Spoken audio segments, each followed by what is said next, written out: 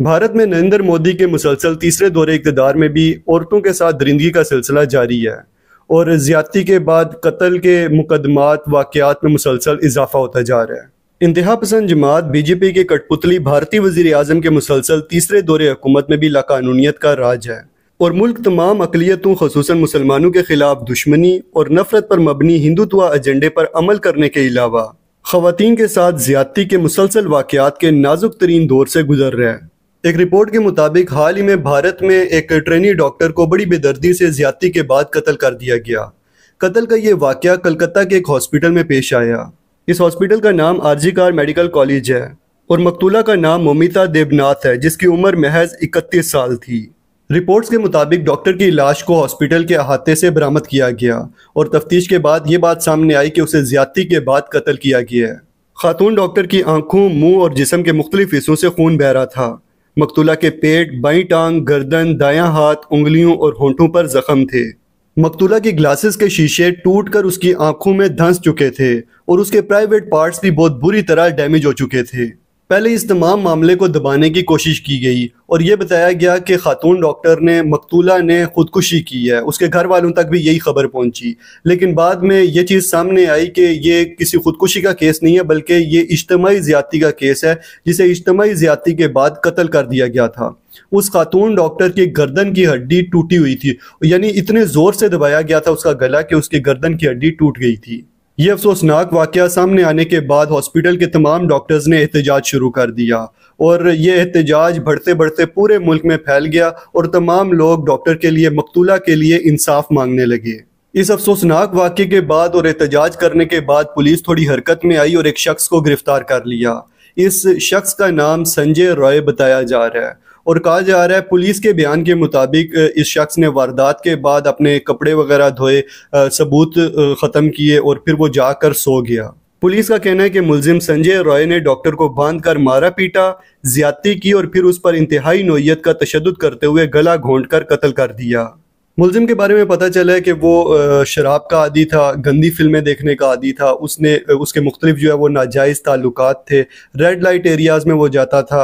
इसके अलावा जो उसकी अपनी शादियाँ थी, चार शादियाँ उसने की हुई थी, एक बीवी उसकी फोत हो गई थी कैंसर से, जबकि जो बाकी बीवियाँ थी, वो उसे छोड़ गई थी। और छोड़ने की वजह यह थी कि वो उन पर बहुत ज़्यादा तशद करता था। और ये पुलिस कंप्लेन भी करवाई गई थी उसकी बीवियों की तरफ़ से कि वो उन्हें मारता है। तो आखिर ये सारा मामला है क्या? आज के इस वीडियो में मैं आपको इस केस से जुड़ी तमाम इन्फॉर्मेशन देने वाला हूँ। इस उम्मीद के साथ कि मकतूला डॉक्टर को जल्द अज जल्द इंसाफ मिले और इस जुर्म में जितने भी लोग शामिल हैं, जितने भी मुजरिम हैं, उन तमाम को जल्द अज जल्द कैफरे किरदार तक पहुँचाया जा सके। तो खुश आमदीद दोस्तों, मैं हूँ बशर आशमी और आप देख रहे हैं एक्सपोज यूनिट यूट्यूब चैनल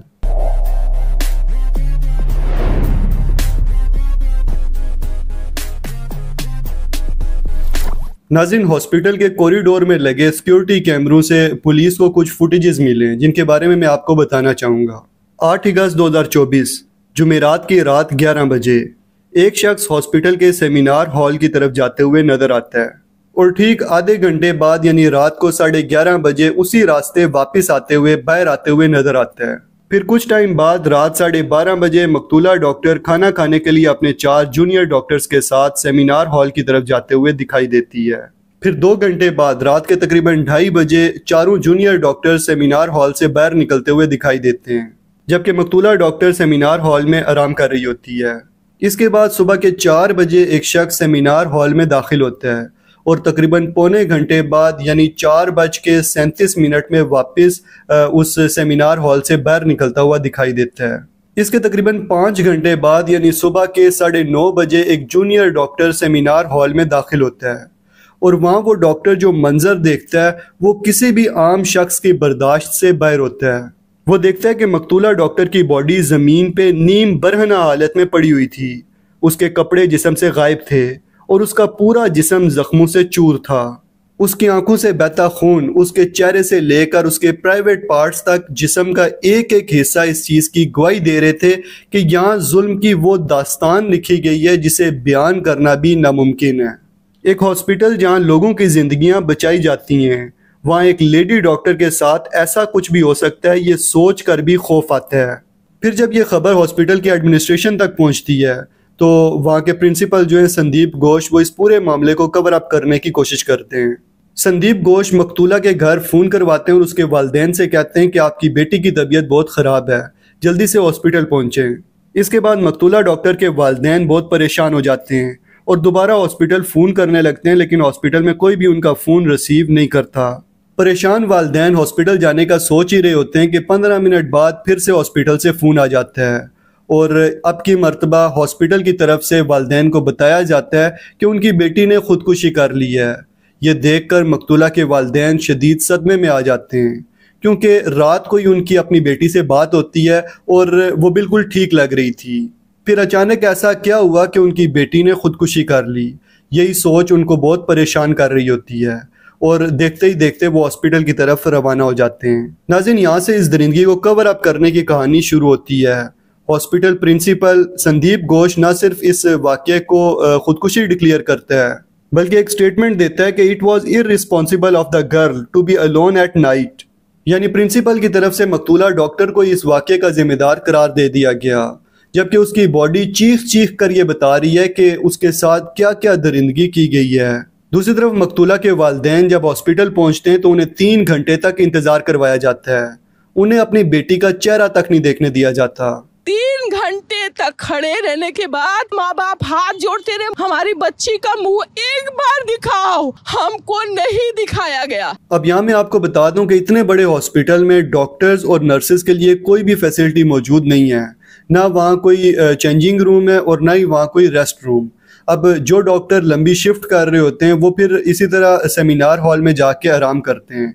यही चीज़ मकतूला डॉक्टर ने भी की थी। 36 घंटे की शिफ्ट में गुजारने के लिए मुसलसल काम करने की वजह से थकावट हो जाती है डॉक्टर्स को तो वो सेमिनार हॉल में आराम करने गई थी। लेकिन उसे नहीं पता था कि यहाँ पे उसके साथ क्या दरिंदगी की जाएगी। ये सब कुछ जानने के बावजूद भी प्रिंसिपल का मकतूला को जिम्मेदार ठहराना तमाम डॉक्टर्स के लिए शदीद तकलीफ़ दे था और जिसके नतीजे में एक ऐसा एहतजाज शुरू हुआ जो, जिसका आगाज़ तो कलकत्ता से हुआ, लेकिन वो पूरे भारत में फैल गया। फिर ये खबर पाकिस्तान, बांग्लादेश, नेपाल से होती हुई पूरी दुनिया में फैल गई और तमाम लोग मकतूला डॉक्टर के लिए इंसाफ की अपील करने लगे। अब होना तो ये चाहिए था कि पुलिस के आने तक सेमिनार हॉल को बंद कर दिया जाता, ताकि सबूतों के साथ किसी भी तरह की छेड़खानी ना की जा सके। लेकिन हॉस्पिटल इंतज़ामिया की तरफ़ से ऐसा कोई भी स्टेप नहीं लिया गया। पुलिस के आने के बाद उन्होंने अपनी तफ्तीश का आगाज़ किया। सीसीटीवी फुटेज की मदद से मशकूक अफराद की लिस्ट तैयार की गई। बॉडी के पास मौजूद तमाम सबूतों को जमा किया गया।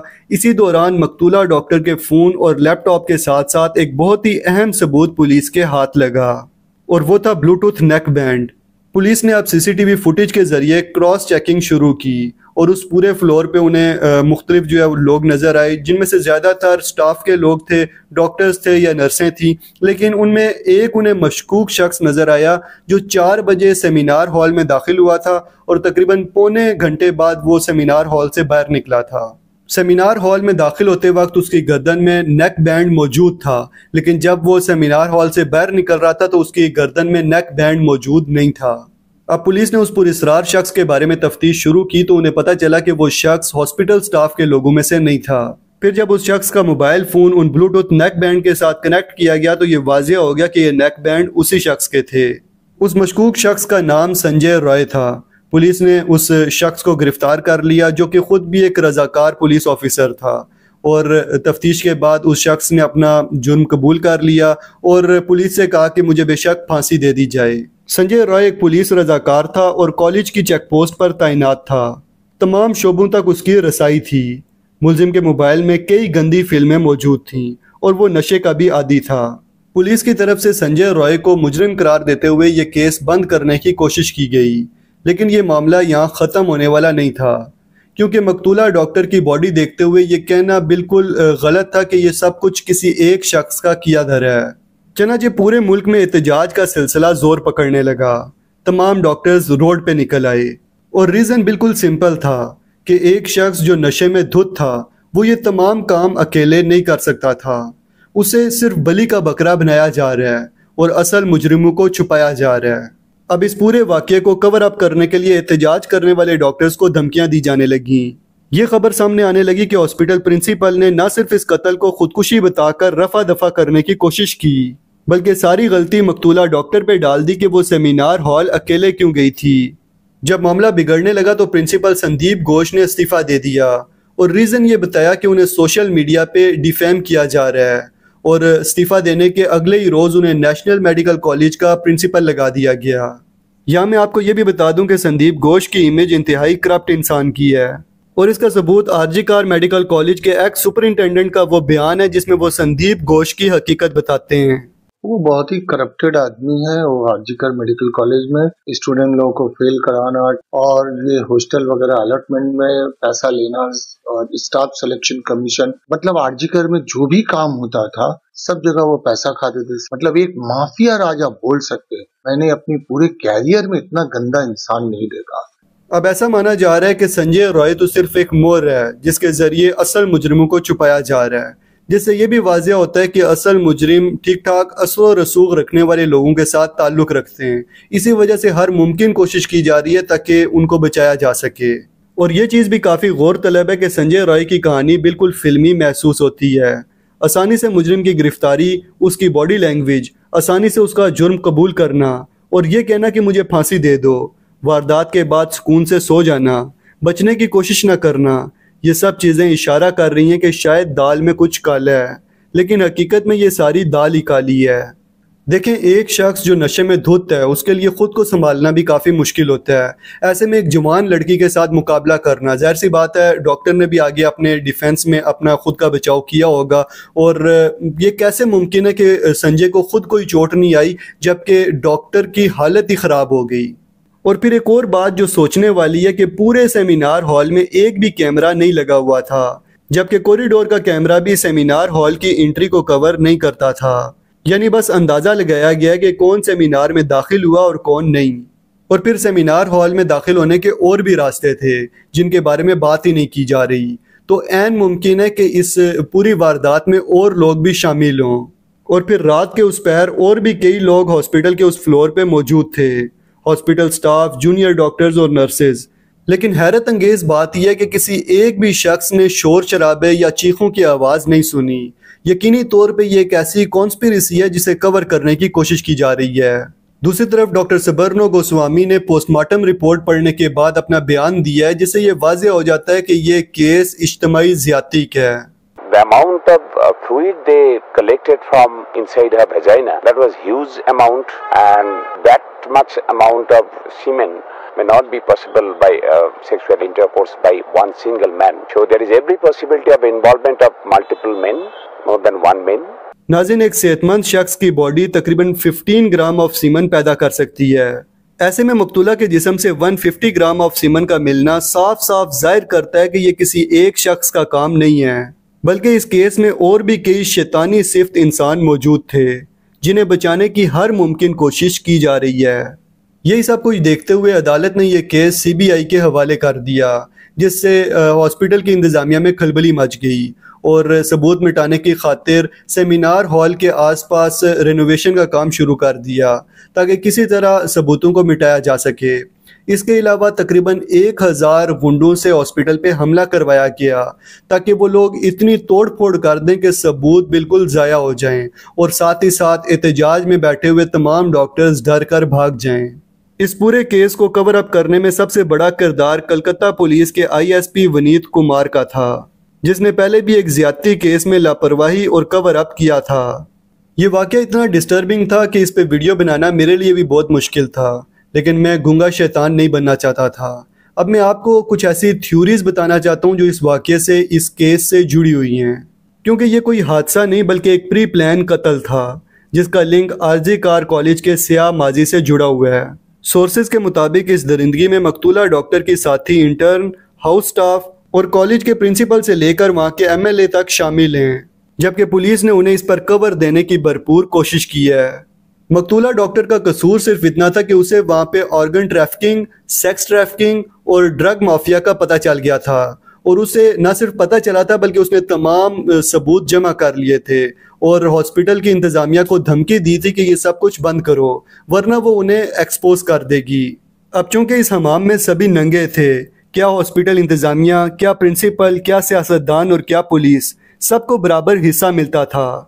तो उन्होंने मकतूला डॉक्टर को रोकने की पूरी कोशिश की, लेकिन वो कामयाब ना हो सके। और कामयाब ना होने के बाद उन्होंने सोचा कि अब इस डॉक्टर को इबरत का एक ऐसा निशान बनाएँगे कि दोबारा कोई भी उनके खिलाफ आवाज़ ना उठा सके। इस सिलसिले में बड़ी महारत से प्लान तरतीब दिया गया। और इस करप्ट सिस्टम और माफिया के खिलाफ हिम्मत करने के जुर्म में मकतूला डॉक्टर की सजा शुरू हुई। इसमें दर्दनाक तरीन लम्हा तब आया जब मकतूला डॉक्टर को घेरा गया। तो उसका हाथ पकड़कर उन दरिंदों के आगे डालने वालों में उसकी साथी इंटर्न शामिल थी, जो कि उसकी दोस्त भी थी। और इस दरिंदगी में बर रास्त एम एल ए संदीप सेना का बेटा शामिल था, जिन्हें बचाने के लिए पूरी कवर स्टोरी तैयार की गई।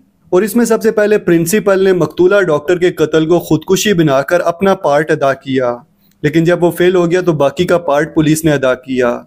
और संजय रॉय नामी एक शख्स को बली के बकरे को गिरफ़्तार किया गया और दस्ती उससे इकबाल जुर्म भी करवा लिया गया। दूसरी तरफ़ 14 अगस्त की रात पुलिस की मदद से एमएलए और बाकी माफिया के गुंडे आरजी कार कॉलेज में घुसे और तोड़ फोड़ की आर में तमाम सबूत तबाह कर दिए।